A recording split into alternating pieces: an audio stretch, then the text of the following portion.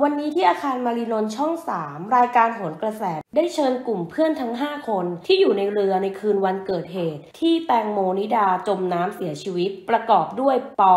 จ๊อบกระติกและแซน ส่วนเบิร์ดไม่ได้มาร่วมรายการ แจ้งว่าแอดมิดอยู่ที่โรงพยาบาล ภายหลังจบรายการ กลุ่มเพื่อนทั้งหมดได้ปฏิเสธที่จะให้สัมภาษณ์ใด ๆ กับกลุ่มนักข่าวจำนวนมากที่ไปรอ มีเพียงกระติกที่ตอบคำถามนักข่าวสั้นๆ ว่า ไม่มีอะไรจะพูดแล้ว ก่อนทั้งหมดจะเดินทางออกไปทันที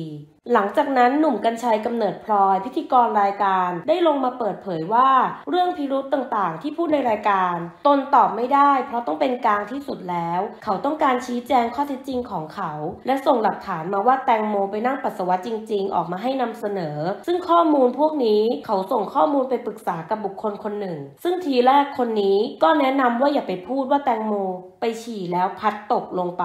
แต่ให้บอกว่าเดินไปข้างหลังเรือแล้วพัดตกลงไปตอนแรกก็จะเปลี่ยนคำให้การแล้ว แต่ก็ไม่เปลี่ยน มีคำถามหนึ่งคำถามที่ตนถามไปว่าแตงโมตายไปแล้วทั้ง 5 คนจะพูดยังไงก็ได้ พวกเขาก็บอกว่า ถ้างั้นจะแต่งเรื่องว่าแตงโมเดินพัดตกลงไปก็ได้ ไม่ต้องนั่งปัสสาวะ ส่วนประเด็นเรื่องของเสื้อจ็อบที่ขาด ก็ได้ดูแล้วพบว่าไม่มีรอยขาด ได้จับแล้วก็รู้สึกว่าเป็นของเก่า แต่ก็ได้ถามปลายเปิดไปว่า ซื้อมาใหม่หรือเปล่า เขาก็ปฏิเสธ ก็เป็นสิทธิ์ของเขาที่จะพูดยังไงก็ได้ ส่วนประเด็นที่สังคมจับจ้องว่าทิ้งเพื่อนนั้น ตนมองว่าเป็นเรื่องของความรู้สึกของคน ถ้าพูดอะไรแบบนี้ออกไป ก็รับไม่ได้อยู่แล้ว แตงโมไม่มีทางที่จะทิ้งพวกเขาไว้ แต่การจะตอบแบบนี้ทำให้สังคมรับไม่ได้ นอกจากนี้หนุ่มกัญชัยยังได้กล่าวถึงการเสียชีวิตของแตงโม ว่าถือเป็นความสูญเสียครั้งใหญ่มากๆ เพราะก็เคยเล่นละครกับแตงโม ก็รู้ความเป็นไปในบ้านของเขาบ้าง เพราะตัวเองสนิทกับพ่อของเขา